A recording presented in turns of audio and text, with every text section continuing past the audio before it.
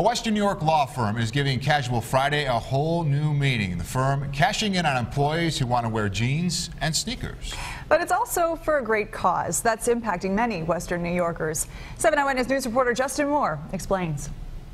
Who knew Casual Friday could raise so much money? The Tully Rinckey law firm is proving that Buffalo is the city of good neighbors. It's a big $250 check to Western New York heroes. The money will be used to uh, assist troops in need.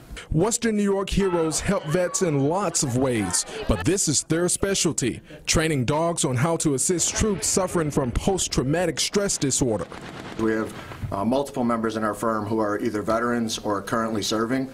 Tully Rinckey Associates raised the money through their Jeans and Sneakers initiative. Each Friday, employees would donate a dollar for each piece of casual clothing they would wear.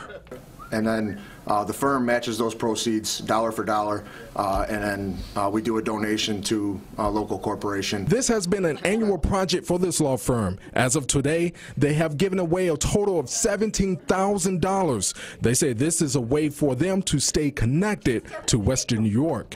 In Williamsville, Justin Moore, 7 Eyewitness News.